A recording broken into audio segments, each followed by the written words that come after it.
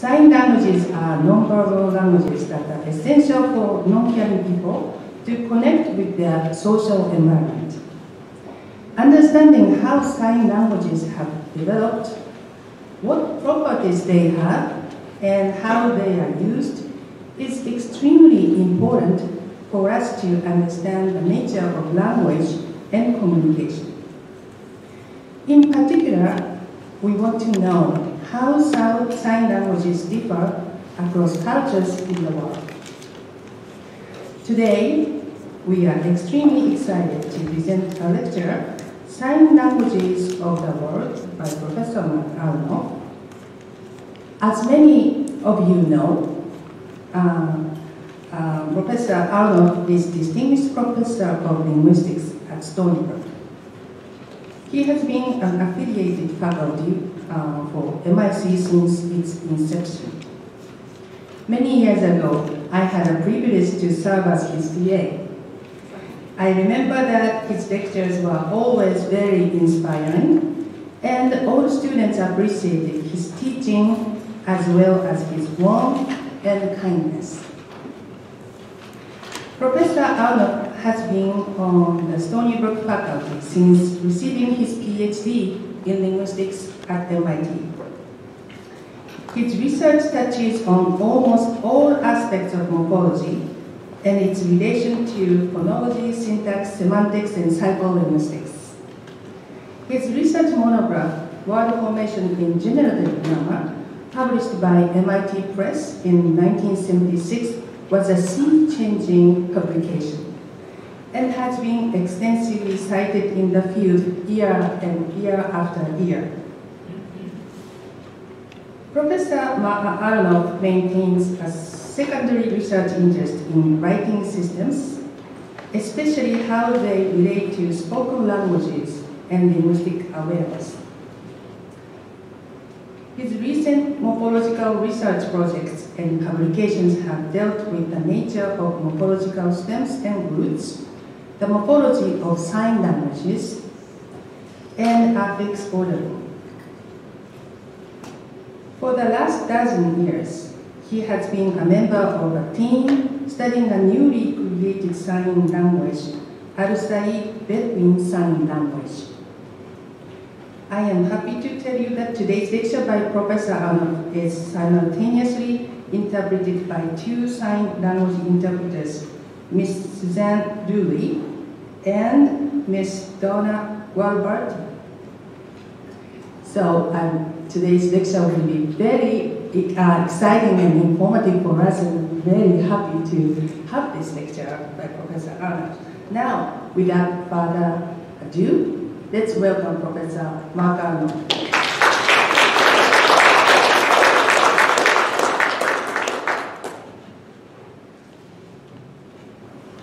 Thank you, Eriko. Uh, it's a special honor to be introduced by a former student, so thank you. Um, okay, I think I will just dive right into this. Uh, and I'm going to give you kind of a very broad overview. I'm going to, uh, I'll be fairly quick, uh, and then I'll talk about one particular language that I have worked on for a long time. All right. okay. Uh, so, sign language is nothing new. This is a uh, picture from a Greek vase. Um, and uh, you can see in Greek uh, the uh, uh, names of these these people. These are these are two. This Dionysus over on the side here, um, and these are two companions of Dionysus, and they're arguing over this guy over there who's playing the flute. Um, and uh, you can see that the, the woman standing all the way off to the side is making this sign with her hand. Uh, and uh, interestingly, this sign still, so this, this vase is 2,000 years old. This sign is still used in Naples today to mean something like um, married or a couple. And so this woman, one of this, uh, you can see it becomes much more animated. This one woman is gesturing to the other, uh, and basically what she's saying is, buzz off, he's mine. and the other one's going like, I never met anyone. I wasn't starting anything whatsoever. So, and this is 2,000 years old. Um, but of course, we have no records other than a few pictures like this. Um,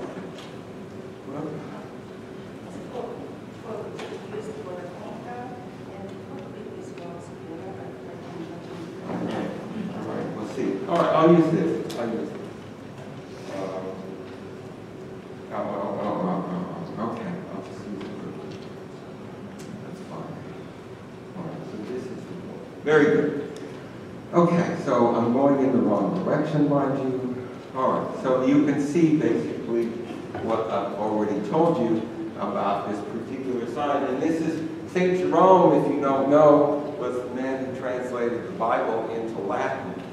Uh, and it says here uh, for the, uh, the conjunction, the joining of the fingers themselves, uh, uh, and, and uh, soft, joining softly, uh, maritum pingit, you know, uh, de- depict uh, a husband, uh, a husband and wife, maritum et conjugem. So this is from St. Jerome from about 400 AD. So this sign has been around for a very long time. Okay, now up until really the late 1950s, people used to think there was only one sign language in the world. And this included even uh, famous deaf advocates uh, and even Leonard Bloomfield, who was one of the founders of modern linguistics, who said gesture language is so uniform, right? And of course, he had it all wrong, but that was what even linguists believed. So the question is, is that true? Um, and the answer is, of course not. Um, so famously, British Sign Language and American Sign Language, despite the fact that the two countries share spoken language, are not mutually intelligible at all. Uh, there is, there was for a while a world sign language people tried to sort of uh, promote, but that never got off the ground. So how many sign languages are there? Uh, for this we go to Ethnologue, which is kind of the standard catalog of, uh, of all the world's languages. Um, and uh, I'm not going to bother to do that, but it, it, shows you that there are at least 150 distinct, established sign languages, probably close to 200. All right. Now, what about the sign languages of the world today? Well, a good number of them um, really have or can be traced in the way that we trace all languages to one of five, and these are the five that are given. Now, interestingly, this analysis is based on manual alphabet, so it's not a standard type of analysis, but it is pretty interesting. Um, so this is, uh, and this is recent, right? And this just shows you what the different sign languages are and their different origins. Um, and this depicts the movements, and you can see these sign languages, how they move from one place to another. One that, uh, that I've worked on a little bit that isn't depicted here, but it's, I think, a nice example. Um, if you, uh, Israeli Sign Language, which is used by uh, several thousand people in Israel, actually came from Berlin. Uh, and that was because uh, uh, there were German deaf people and educators who fled Germany in the mid-1930s and uh, started a school in Israel. And that's how a lot of these, these languages start. That's how American Sign Language started, was they came from France because educators from here went to, to, to France and then founded a school here. So that's how these things often happen. Um, since uh, this lecture is at least closely related to the Department of Asian and Asian American Studies, I thought I would talk very briefly about sign languages of Asia. Um, and uh, it's in East Asia. I'm not talking about uh, South Asia or Southeast Asia. That's a whole other story. But there are basically two groups. There's Japanese and Korean Sign Language, and then there are uh, Chinese Sign Language, right? Um, and just to give you an example, again, the Chinese sign, sign language you can trace to a school that was founded about 150 years ago. Um, and most of Chinese Sign Language came sort of um, spread from this uh, school that uh, was in Shanghai. And today there are really um, two major dialects. Now, Japanese, Korean, and Taiwanese, um, again, Japanese emissaries were sent uh, to European schools, but we don't know exactly where they went. We can't figure out exactly where the language came from. Uh, and of course, the language spread, spread to Korea and Taiwan um, because of Japanese occupation and colonialism.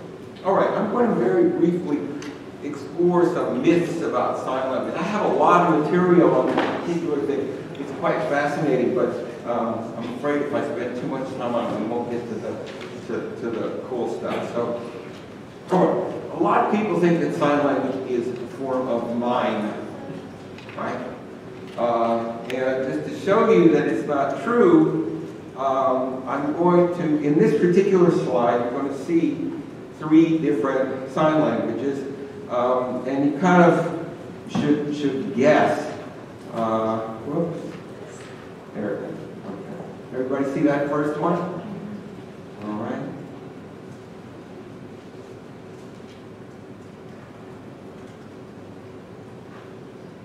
So every, they're all shaking a finger, right? So the question is, what is it, right? And the answer is that the first one is ASL where, the second one um, is Italian Sign Language not, and the last one is Russian Sign Language what. Right? So yeah, they can all, everybody can be shaking a finger, but it doesn't mean the same thing, right? All right, now here's another um, problem, we'll call it. So yes, there's a lot of iconicity in sign language, but it, you know, the icon depends on what you focus on, right? So here is Israeli Sign Language, sign for bird, and American Sign Language sign for bird, and you can see that they're really kind of looking at focusing on two different aspects of birds. You know, birds fly and birds have beaks, right? And so, uh, so it depends on what you think about birds, right? There's another example, um, which is the sign for tree. So here's Chinese Sign Language, Danish Sign Language, and American Sign Language, and they all have a different word for tree. They're all iconic in some way. Um, but they are iconic in different ways. So another example is the word for chat. There's French Sign Language, um, the Netherlands Sign Language, and ASL. They share one feature, which is back and forth. So they all have a back and forth, but the back and forth is going is actually going in three different uh, axes, right? So uh, so that's kind of cool. So again, they're iconic, but they don't choose the same dimension. All right, second myth, which is very important, is that there's some connection between the spoken language and the sign language. And the answer is no. Um, uh, so here is French and French Sign Language. And you can see uh, that, that the order. Uh, I can tell you about just briefly in my own work when we started working on this Bedouin Sign Language that we'll talk about. Uh, the first big discovery that we made was that the word order in the language was different from the word order in the spoken language of the village. So the spoken language of the village is uh, colloquially, basically uh, uh, Palestinian Arabic, which like, like many languages is SVO, like most colloquial varieties of Arabic, and it turned out that the sign language was SOV. And this was good enough that we were on the, we had a big picture on the front cover of the science section of the New York Times telling the world that this language was SOV. I don't think it's anyway, so yeah. Uh, but sign languages and spoken languages can be very different. All right, I'm going to go very quickly through this, but any language made up of these basic signaling units, which are then put together to make meaningful signs, right? Uh, now, in speech, basically the way it works is every, and all languages work like this, every language has a set of sort of simple sounds, which goes from a dozen or so, Hawaiian as an example of a language with a very few, a small inventory, we say. English has 40 or so, that's not the biggest, there are languages, some languages in the Caucasus that have somewhere over 70 of such things, right? Okay, uh, and basically the way you form the, the signs is to take these units and put them together. So here's an example, a well-worn example. You can take the sounds t, a, and k in English, and you can put together, put them together in at least three these three different ways. You can say cat or at, or cat, or at. Interestingly, in a big deal about this, you can't do all possible combinations, right? So you can't say tka or ta, um, though you probably, if you were speaking Russian, you could say ta, but not in English, you can't do it, right? So it's not, it's these basic sound units and their combinations, right? Okay, now, uh, we won't talk about this because it's too complicated, but similarly, in uh, the same words for sign language. In fact, this was the great discovery that William Stokoe made, who was really, in many ways, the founder of sign language linguistics in the late 50s. Um, he figured out that sign language, American Sign Language, and he coined the name American Sign Language. American Sign Language had similar units to the sound units that we have in spoken language. And the point is that every sign in, in the sign language is made up of these kinds of components, right? So, all right, so the way language, sign languages work is you have a, uh, a, a handshake, and these are various handshapes uh, that you can use. These, that, uh, I won't go through this in any detail. You have a location, which is where uh, you, the, the, sounds are made, and then you have the manner of, of movement. And different signs are, we can, we can tell that signs are different because we can construct what we call minimal pairs, which are, which are signs that differ only in one of these things. Okay? Um, I can say tap, tap, and cat.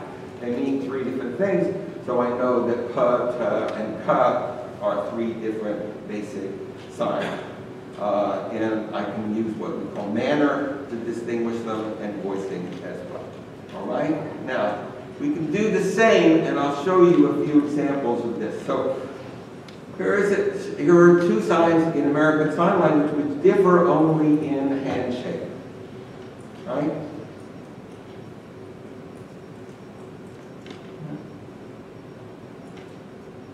There's candy. And here's apple. Does everybody see that? They're made on the same location. The movement is the same. There's a slight difference in the mouth, but we won't worry about that. Um, but, the, the, but the handshake looks totally different. Okay? We'll do a couple more of those. Um, twin.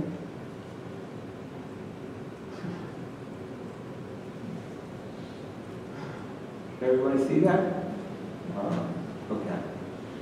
I'll give you a few more, and then uh, just in the interest of time. If, these slides are going to be posted, right? Or you can know? I mean, we can post them, and then if people want to look through them at their leisure, um, they, they can. Okay? I don't mind if they're. So here's father, mother, and fine. There's father. This is American Sign Language. This is mother, so the, the hand looks the same, it's just in a different position. And here's fine, right? So it's here, right? So fine. Okay. Um, here's dry.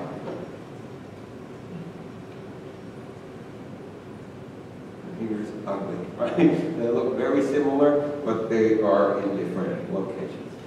Okay, I'm not going to spend a lot more time. We could. Um, well, let's let's do this because uh, I like this one. So that's made and coffee, right? You can see that.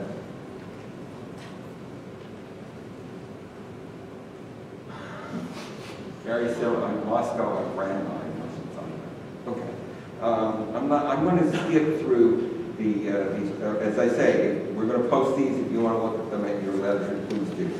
All right. Now, my particular research, our particular research, is concentrated on a type of language that we call deaf. Uh, um, uh, that, that we call sign, village sign languages. And those are different from the sort of standard sign languages. And the standard sign languages are sign languages that, that are um, that, that are part of an organized deaf community. So what do I mean by a deaf community? Well, what I mean mostly is, uh, sorry, deaf organizations, deaf schools, those sorts of things. And those are most of the sign languages that we think about, like American Sign Language and British Sign Language uh, and Chinese Sign Language. The kind of sign language that I am interested in, that I've worked on with as part of a team, is a different type of sign language. And um, these, we used to call them deaf, uh, village sign languages, but the name these days, they're, most people call them shared signing languages. And these are languages that have emerged um, among deaf people in um, small communities, with not based in schools at all, but just sort of where, and usually for genetic reasons. So I'm going to talk about two such languages. Um, one of them, this one is no, the first one is no longer in use, but this is an amazing language. It's an amazing place. So Ghardaia is a, uh, a village, is a town. It's not a village, it's a large town um, in the Sahara. It's right on the edge of the Sahara in Algeria. It's like the last major town before you get to the Sahara. And it's always been quite isolated and has a fascinating history. It's hundreds and hundreds of years old, right? All right. So uh, this is what it looks like today. Um, and you can see where it is, okay? Uh, so uh, here it is. Everybody see where it is? I'm pointing. So you see, so this is the coast. This is where most people in Algeria live. These are the Atlas Mountains. Then there's a then there's another mountain here. And right here, right on the edge of the Sahara, is this town called Garbat right? Okay. Now, this town was founded by a, a sort of a, uh, a, fairly obscure Muslim sect, and these people actually went there specifically because they wanted to get away from else, right? And that was a thousand years ago. The town always had a large Jewish population. Uh, so by about 1960, there were about 6,000 of these. Now, uh, this is from a monograph, which I recommend very highly, uh, by a man with the wonderful name of Lloyd Cabot Briggs. If anything reeks of Yankee money, it's the name Lloyd Cabot Briggs. Okay. Um, and he was an anthropologist who uh, worked in this town and discovered these uh, a, a, deaf uh, community within the Jewish community within this isolated town, right? Um, so there's an example of uh, sexually a wedding. Uh, now, these people all left. In, about, in the mid-1960s, there was a war in Algeria, the Algerian War of Independence. Um, the Jews all felt threatened, and so they all left. They just, you know, planes came in and they took them all away. Um, they all, mostly all of them, went to uh, some of them went to France. And this, they took the sign language with them. So uh, a colleague of mine actually had the opportunity to study the language of one of the last of these people. But they're gone now because they had no reason to use their language. Here's another famous example from over there. right? right. So, this is Martha's Vineyard, uh, which everybody knows it's where the Obamas have their summer house, right? And, uh, and, but it was high, it was highly isolated. Uh, it was inhabited uh, by uh, uh, by British colonists in the early 1600s. Was isolated for about 300 years. And the people on Martha's Vineyard developed their own sign language just because there was, again, it was for genetic reasons that they were deaf in the first place. When the population, um, when, when, when you really have a, uh, a narrow range of who you can uh, mate with, uh, these genetic anomalies get amplified. So now Martha's Vineyard Sign Language again disappeared, though there's a wonderful book uh, by Nora Groce about it. Uh, uh, recently, there's been new research on it. It seems to, I, of course, it, is, it, it changes the picture a little bit, but I highly recommend Nora Groce's book because it's actually both of those books, uh, both the Briggs book and her book. Okay, who are these people? These are the people that I know. These are the people that I work with um, in a uh, Bedouin village near Beersheba. All right, so this is a community. It's spelled Al Sayyid, but that's the standard. It's actually pronounced Isayed. So, uh, but the spelling, that's just that, that's the way it's uh, and it's a community uh, that was founded um, near uh, uh, Beersheba in the Negev Desert. I'll show you exactly where it is. Um, and uh, we know we have a genetic profile of the entire village uh, that was done by a geneticist who later became the dean of the medical school and then the president of the university uh, in Beersheba. Uh, but uh, so we uh, we can actually what happened was that about 75 years ago, four deaf siblings were born in this village, right? Uh, and there are now about 200 deaf people in this village of about four, it's, it's a town really of 4,000 people, right? Um, and again, uh, this is all genetically based. Uh, and we, all we have, we have one video that I'll show you of one of the members of the first generation. I wrote here that it's now his fourth generation. It's actually now his fifth generation. We haven't been back since the fifth generation was born. Uh, we, we really last in the village about five years ago. And it's used throughout the village. Uh, so I remember one of the first, the first time we ever drove into the village, we're driving and of course we're surrounded by kids, right? And, you know, the, the car is just surrounded by kids. And all the kids are signing.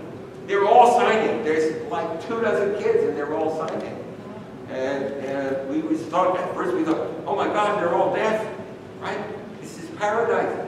And then we said, we realized that, well, no, they're not all deaf, they're all signing, but they're not all deaf. Uh, so so anybody who has a deaf relative signs, regardless of whether they are deaf or, or hearing in this village. So this is where it is.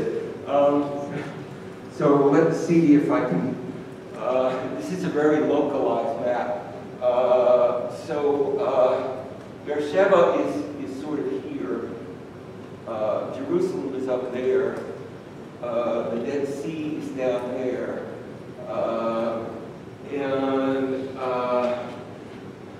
Al Sayyid, this Asayed is here. This actually means literally the deaf person, this next village. But there aren't as many, nearly as many deaf people as there are in Messiah. Uh, as I mentioned to somebody, this is this community is uh, socially isolated, but geographically not. If I tell anybody, anybody in Israel knows this intersection is the intersection of two major highways, one of which goes to the Dead Sea and the other which goes up north, uh, eventually to Tel Aviv. And I tell them, you know the McDonald's over there? And they say, oh yeah, I know that McDonald's.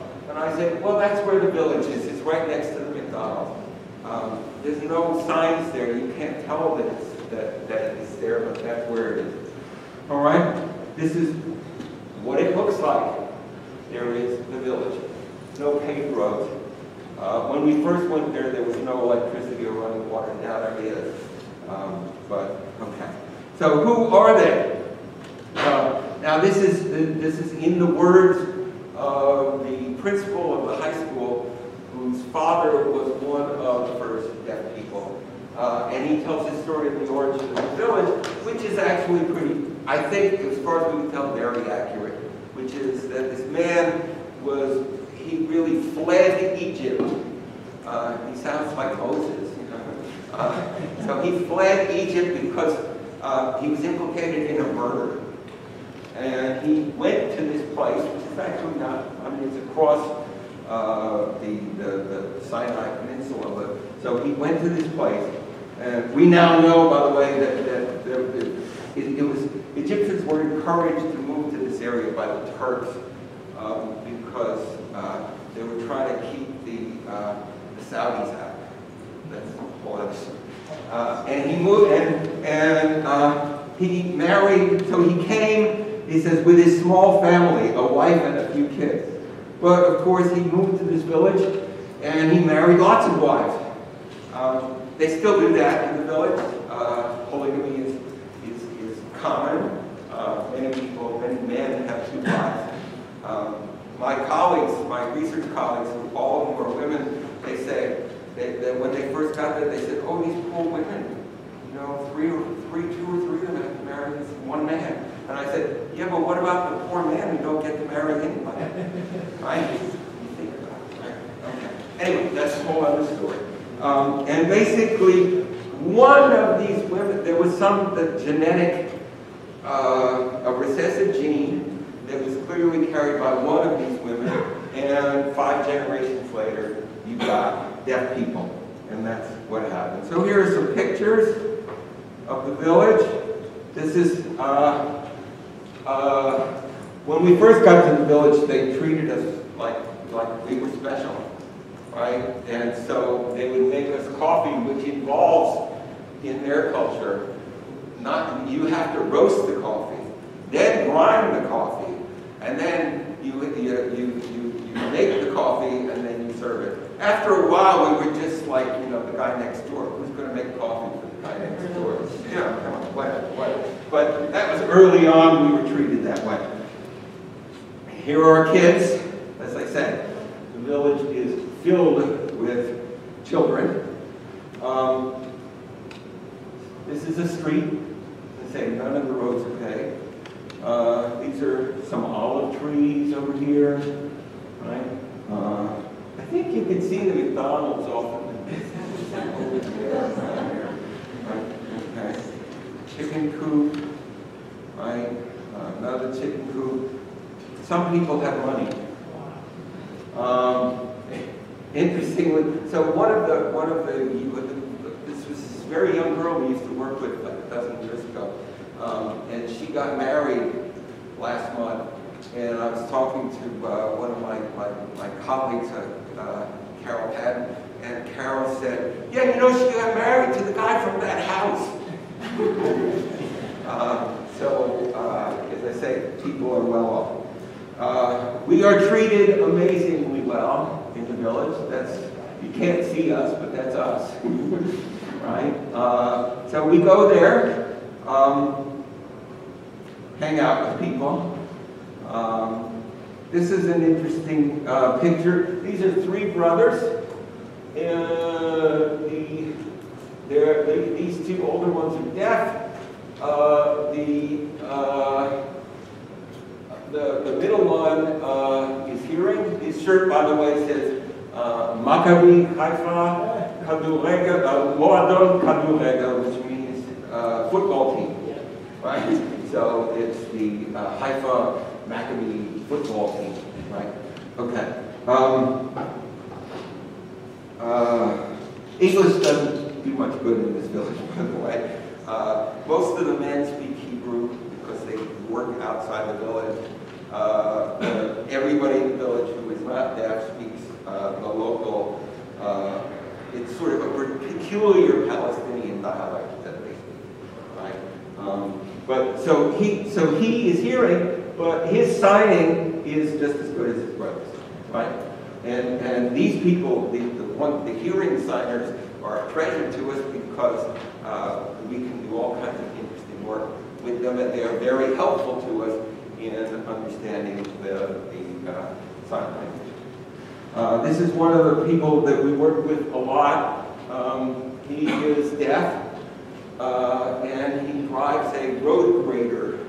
Uh, and you say to yourself, you know, big deal. All right, and apparently he could grade a road without any level, which meant that, you know, you have to grade a road like this. You don't grade a road flat. Uh, so it's just, the deaf people are full functioning members of the community. All right, this is my late colleague, unfortunately, she passed away about three years ago.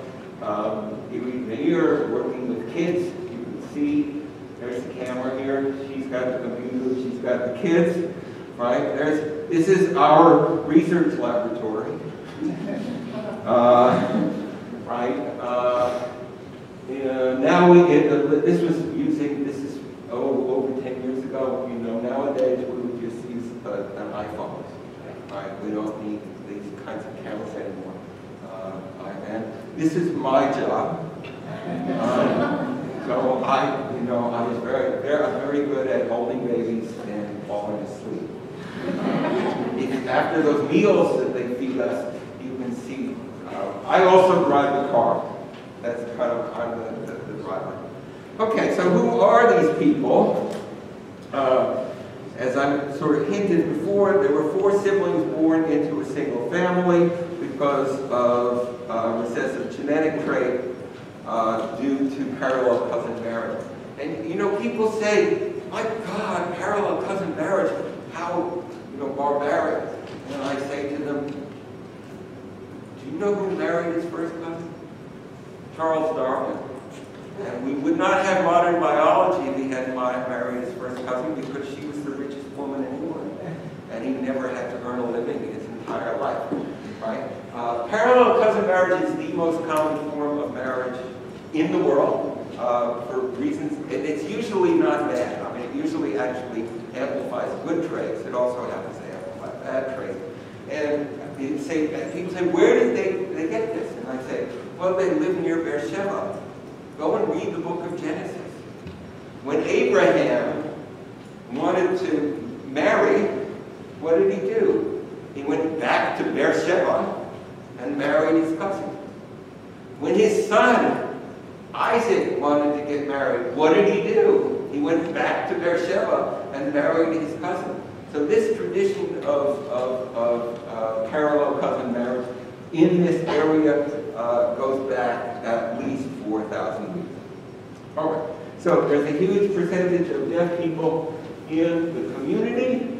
Uh, it's like, you know, uh, 100 times normal. Uh, again, uh, for, uh, for genetic reasons. Um, and these people are completely integrated in the community. They interact with one another. They, they, they lead, you know, they, they just lead regular lives. Okay? So, uh, and uh, this is the most important thing. This is from the first article written by doctors about this village. So what's important about these people is that they are otherwise, they have an otherwise normal phenotype and are of normal intelligence. In other words, these people are deaf. They are stone deaf from birth. But there is, they have no other issues whatsoever. Right? So that's, that's uh, and that's often true of, in fact, you know, usually true of people who are born deaf. Right? Okay. Uh, we know exactly why they're deaf, and you can read this in great detail. Particular problem that was discovered uh, about uh, 25 years ago uh, by a local researcher. Okay. Now, socially, as I said, this is amplified by the social structure of uh, the village. And you get, because of the, the marriage patterns, there's a great likelihood of this recessive gene pairing. Okay? Uh, I'm not going to go through this uh, in detail, but basically, it's interesting to us because this area was settled really very recently, um, uh, only about between 200 and 300 years ago. And it's interesting, we call this language, when we first named, we named it because the people in the village, what did they call it? They call it our signs. That's what they call it. They didn't think there was a reason to give it a name. Um, and we, uh, it's a very interesting story, but we eventually agreed to give it a name. Um, and we called it Al-Sayyid Bedouin Sign Language. It was only maybe 10 years later that we found out that these people aren't really Bedouins. They're sort of Bedouins. And that itself is interesting because what happened was because they weren't accepted by the Bedouins, they were even more isolated. So because they weren't accepted by the local Bedouins, they were really sort of the, the cousin marriage profile was, was amplified. Okay? Um, okay, I'm going to, I think, show you this. This is a video of one of the first signers. It's very cool. Uh, we uh, got to, uh, we wanted to copy, it was a, a video cassette VCR tape. They wouldn't, they were worried that something would happen to the tape, so they let us um, film it off the TV screen, which if you're a fan of Seinfeld, you know the episode where they're, right, there's pirating the, the movies, but, so this is pirated off the TV screen. Uh, and so this is one of the first signers. Uh, it's the father of the high school principal. Let's see. Whoa, what has happened? Oh my gosh. Oh my gosh. Come back. Um, there it goes.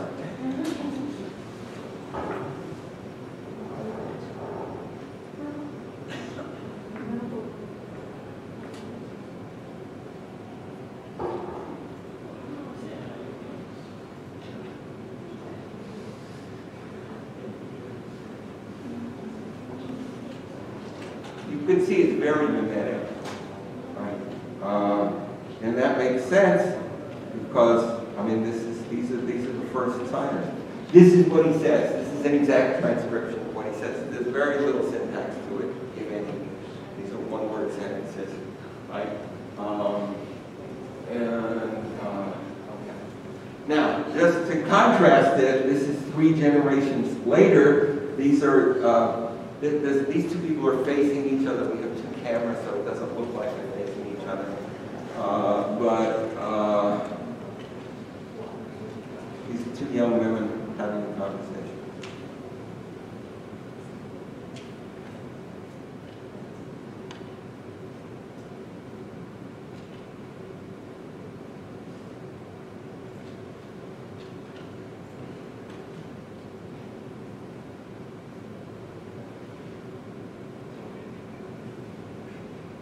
It's not mimetic at all. And as, as my colleague Carol Padden said, when we, when, when we, the first time we actually saw somebody uh, speaking this language, Carol turned to the rest of the team and said, this is the real thing. I don't understand a word. Right? But this had, this is 50 years. It's amazing, right? In 50 years, you go from this highly mimetic system, um, oh, this, the end is, is wonderful.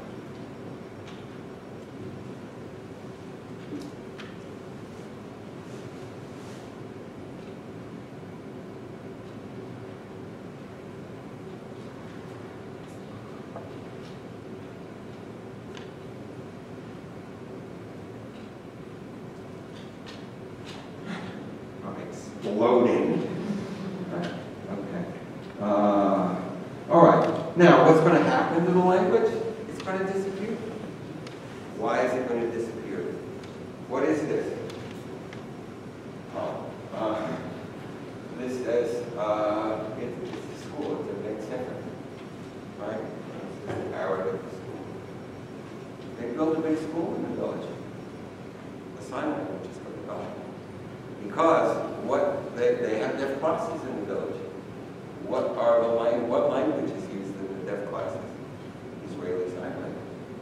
Right? Because they want these people to, to, to become integrated into the local, in, into the wider society. Um, so, uh, you know, we come back in 20 years, uh, Uh, not that I will, but if anybody goes back in 20 years, will they find the sign language there? Probably not, right? Because the, the, the, the deaf people in the village are going to all be using Israeli sign language, which is fine for them, right? I mean, that, but uh, it's not fine for the language. But that's, you know, I mean, that's the way these things tend to, to I think these, these, these, um, these types of, of shared sign languages, they kind of, you know, they emerge and then they disappear. That's kind of what seems to happen. All right, I'm going to give you, how much time do I have? Five minutes? I don't know. More? More? Okay. Uh, so I'll, I'll show you a little bit about the grammar of this language, just to give you a flavor for what it's like. All right, first, we're going to look at complex words uh, uh, compound words, which are basically two words put together to make another one. And in all languages, in all new languages, those are the first complex words that you have. Um, so we see this in, in, in Creole languages as well. Right, so you take two words, put them together, you get a third word. Right? Now, what's interesting about this language is it's a brand new language. And so we can actually watch this structure kind of coalescing, right? It's not like people walk in and they say, okay, we're going to make compounds. We're going to take word one and word two, put them together, and then make word three. No, we can actually see how, how they're kind of struggling to do this, right? Uh, so what we do is we give them something that, that we don't think they have a name for, right? Uh, so this is a calendar, and we say to them, you know, what is this? And this is what we get. So they just take a bunch of words and string them together. So they have, you know, they, they know, they're trying to describe it. Similarly, what is this? Everybody in the village has one of these. It's a little gas stove, right? Everybody has one. Uh, and we ask them, well, what is it? And this is what we get. Turn, cook, you could see some of them are just two words, but some of them are three or four, right? Uh, and we actually don't have any com compounds that are uniform across the village. But we do have some that are interestingly conventionalized within a household. So, what's the, one of the most important things in a household? Is the kettle, because you boil water and you make tea, right? And everybody and coffee, right? And so everybody has a kettle. And what's happened is that in different families, they have different ways of saying kettle, right?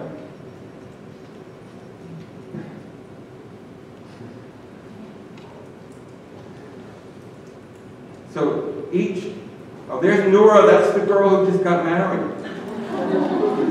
she was like, what, six and? Right? Yeah, she just got married. Okay. Um, so basically you can see that there are, um, within two different families, one family gives you cup plus four, four, four from handle. So that's this guy in blue here. That's one of the brothers. Remember those three brothers? He gives you cup, cup, four from handle, and the other one gives you cup, brown. So each family, you can, why, you know, it makes perfect sense, right? Each family has developed within the family its own words. All right, here's another example. It's a word for banana.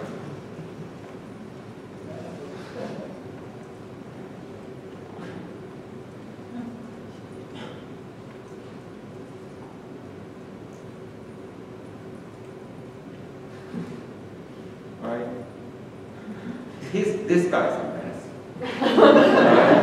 you can see these younger kids are like, whatever.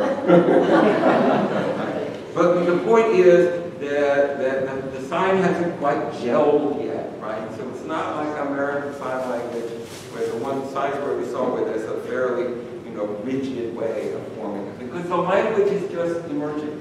Okay, as I mentioned to you before, and I'll leave you with this, this language has um, uh, subject, object, verb, word order. And the way we discovered this was we gave people um, some, we made video clips. We gave them the video clips and we asked them to describe what's going on in the video clip, right? So I'll leave you with that.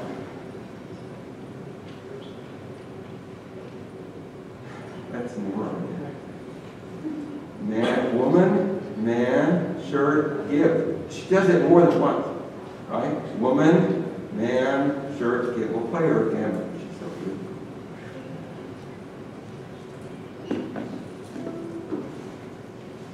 By the way, it's a wonderful example of iconicity and historical change. So you see the sign for woman that she makes? She looks sort of like that, right? And that's because a hundred years ago, um, Bedouin women, when they were married, were, were given a tattoo right here, so that's the sign for woman. It's no, it hasn't been true for a hundred years, but that's what. This is man. Why? Remember, where did this, when did this village start? During Ottoman Turkish time. Well, they all had Turkish mustaches, right? Uh, so these signs, I think, you know, they're, they're, they're iconic, but iconic from a hundred years ago. They're no longer iconic. You know, the one sign that is iconic is the sign for boy. Right? Everybody get that? Okay. Anyway, uh, so you can see basically that what the girl is saying is woman, man, shirt, give. Right? So it looks like the subject. Uh, and that was our first result, um, which we published in uh, uh, Proceedings of the National Academy of Sciences.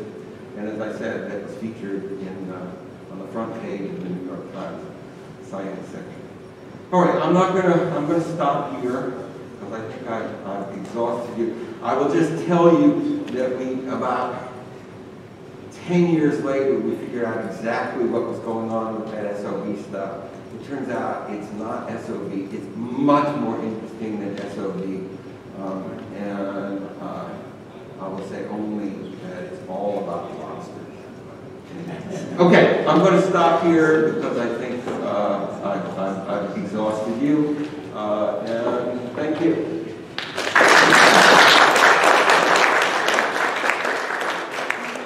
Professor Aronoff, it was really interesting. I always thought that sign language is so difficult, but actually your lecture really opened my mind.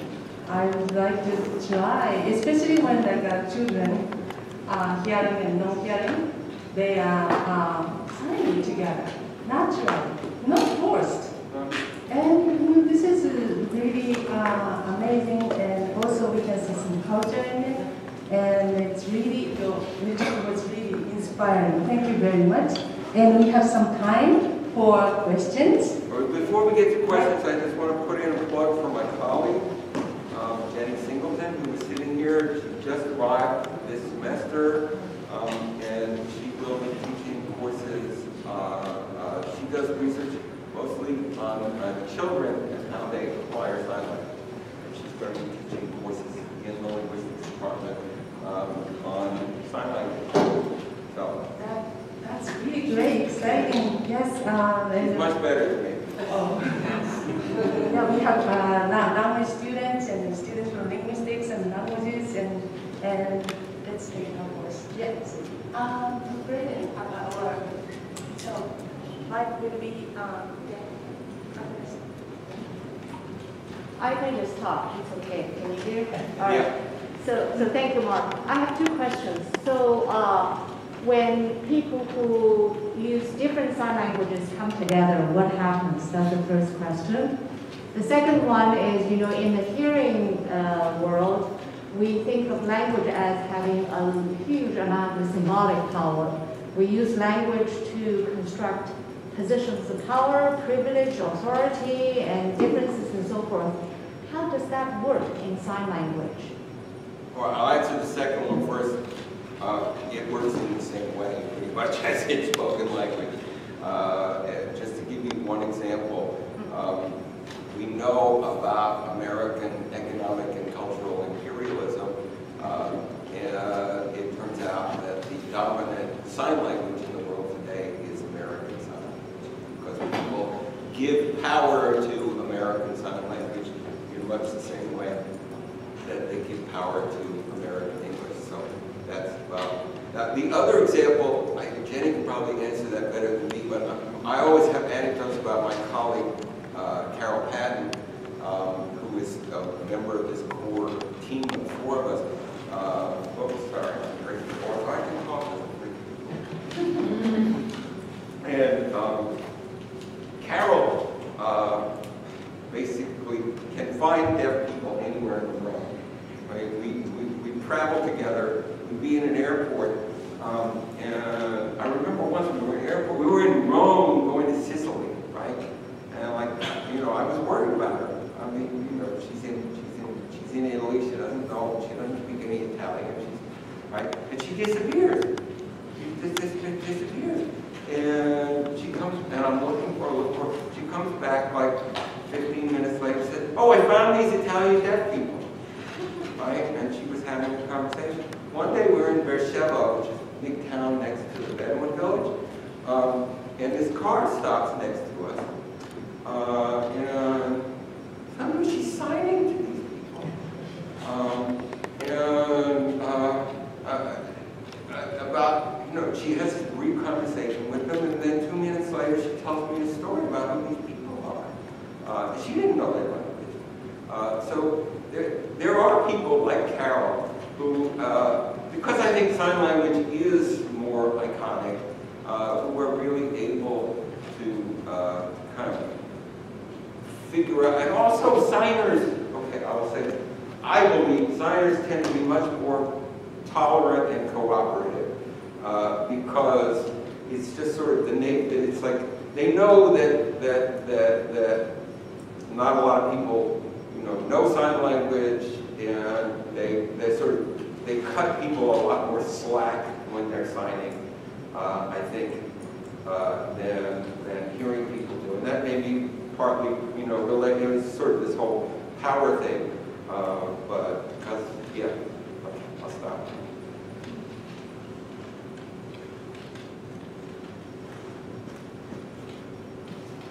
I'll come for this side. Uh, I'm wondering if mystery for me. Um, There's a project that I was running until about five years ago called PanLex. And it was, what it does is collect um, lexemes, millions of lexemes from thousands of languages and, and out of dictionaries and, and creates a multilingual uh, dictionary allowing inference where no attested translations exist. When, when I was running, we basically got stumped by sign languages because the prerequisite for inclusion was that each lemma has to have a representation as a string of Unicode characters, and we couldn't find any either practical or scholarly orthographies that did that. I'm wondering, why is that? I know Jenny to answer better me. It's a mystery, actually. People have tried for many, many years to create a practical orthography uh, for sign languages. Uh, and there have been, you know, every, every once in a while you hear the thing. So somebody's come up with this, you know, based on dance notation or something like that. Um, and it, it, it just hasn't quite worked. I have my own ideas about why that be, might be, but they're kind of, uh, they're so radical, I don't want to tell you. Uh, But I want to know about your project. I mean, this is fascinating. Where was this run out of? It's, uh, it's running, it's sponsored by the Long Now Foundation in San Francisco. Oh, okay. Uh, It's affiliated with the Rosetta Project there, it's run by linguist David Kamholz. And so it's just been working for several years to collect all, you know, basically mine uh, multilingual, bilingual and multilingual dictionaries to create a kind of super dictionary that uh, allows you to translate between, you know, Mongolian and Nahuatl or whatever. Right. uh, Very good. Yeah. Let's talk more about that. Okay, I know very little about sign languages, so I'm curious Me about, too. about one thing, which is, how can you distinguish between um, a series of words and a compound word. Like in the example you gave, woman, man, shirt, give. There might be a concept called woman man, Right. or there might be one called man shirt. So how would, how do, how do you distinguish? Um, so I'll give you an example from spoken language. So do you agree that there's a difference between White House and White House? Right, the White, White House is a compound, right, and it means a specific house, right? It, uh, there's a pink house, maybe. Um, Yeah, so a lot of it has to do with what we might call prosody or intonation in, in, in spoken language. It turns out that uh, signing has the equivalent of prosody. Uh, my colleague Wendy Sandler is, is a, a big expert on this. Uh, and the other thing that happens is in established sign languages, very often when you make a compound, you kind of smoosh them together. What's going on here inside is because it's all brand new, um, it's hard to tell. And one thing that's very cool is that is that the order of constituents in, in a compound in, in ABSL is different from the order in a sentence. Um, so in, in- normally the order in a sentence would be uh, adjective, right? Uh, so you know we would say housewife. Uh, but in compounds, they do the opposite order. So there's actually a grammatical difference that's emerging. That's one of the cool things, of course, and, and you know, that the structure is emergent. It's not gelled completely. But we can see, if you do statistical analysis, that within, within compounds, there's a much higher frequency of the, of, of the modifier head than the head modifier that you get in the syntax. So yeah, there are ways of teasing this out, but um, yeah.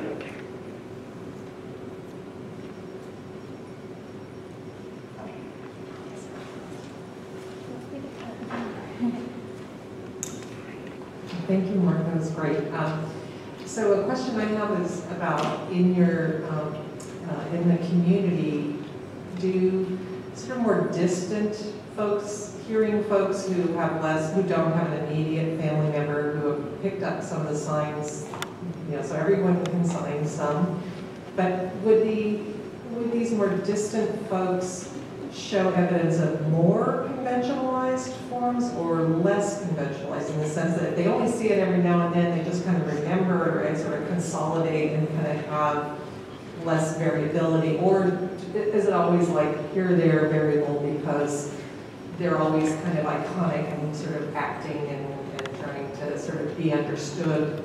Yeah, a So, great so which way question. does it go? Right, so it's a great question, I don't have an answer, but we'll go back and find out. The thing about this, the village, is that we have to work within the social structure of the village, right? So, um, it took us a year until we can get in, and we, everything is done by social networking. And basically, we network mostly with deaf people. Uh, So by now, there are a number of deaf people that we know very well. I mean, you know, that, that, that's the point where we talk to them on the phone regularly. When we first went to the village, we were amazed, they all had video phones. Because of course, it's Israel and they're, you know, they were always much more advanced in telephone technology than we were. Uh, But nowadays, everybody has video phones, so, uh, but we, so it's actually very hard for us to get to work with people of the type that you described who don't have much contact with, with deaf people because it's just in terms of how many nodes we have to go through. Uh, we, we we don't know those people. Right. Um, and so, uh, we can't really work, we can't just walk into Right, somebody's the house. trust network is not quite. Yes, yeah, Okay. but we can try, Yeah, yeah. I'm just trying to figure out which. Yeah, way- no, no, I- Which way I would predict, you know, Right, so. right, right, great question. So thank you, Mark, for the great talk. So my question um, is about the banana sign that you showed, and you showed how it's signed by uh, some mature signers, where they, they're peeling the banana, and then the younger kids are kind of making it a little more stylized. It looks a little less iconic than this to me. So just curious if, as the language gets more and more developed, the, the degree of iconicity, do, do, do- if that will go down over time? Or is it that sign languages would maintain that same, about same amount of iconicity regardless of how many generations of signers we have? There's a lot of studies on iconicity, especially historically in, in American Sign Language.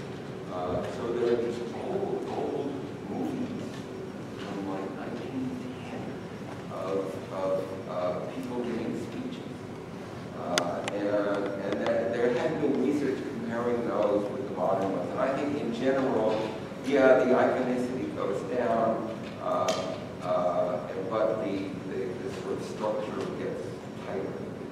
Right? So, but, yeah, but these kids, I, I mean, I don't know what's going on. Right, but apparently they understood each other. in Yeah, yeah, yeah, Japanese, everybody so knows what a banana is, you know?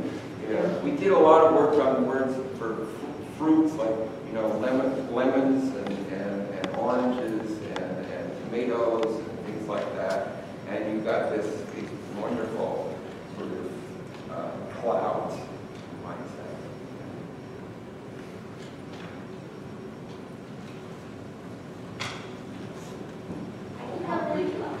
Make you Um, walk I'm pretty away. loud.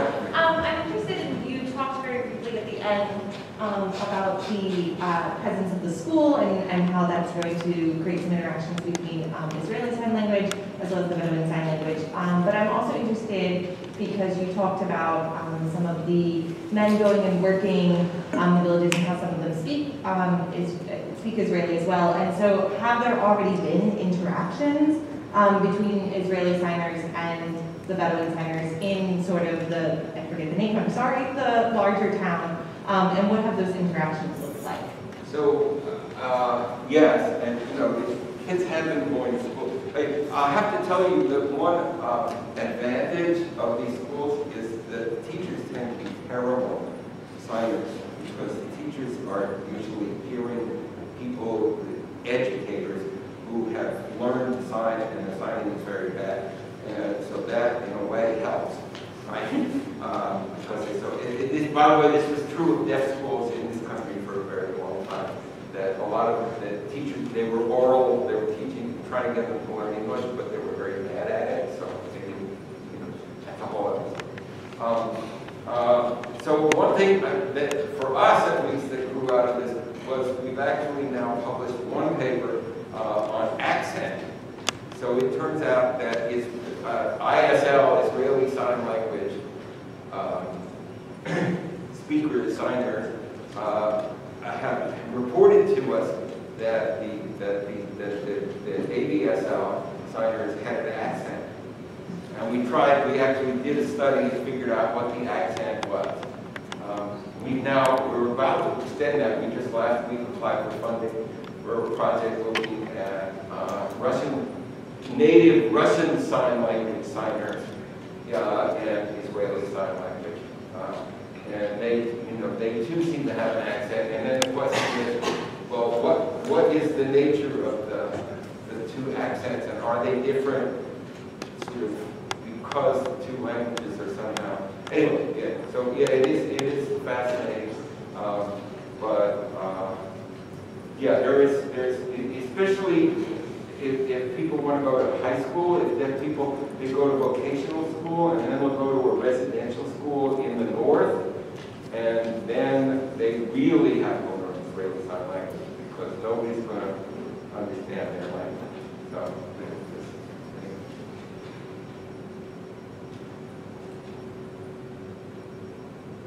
Any other questions?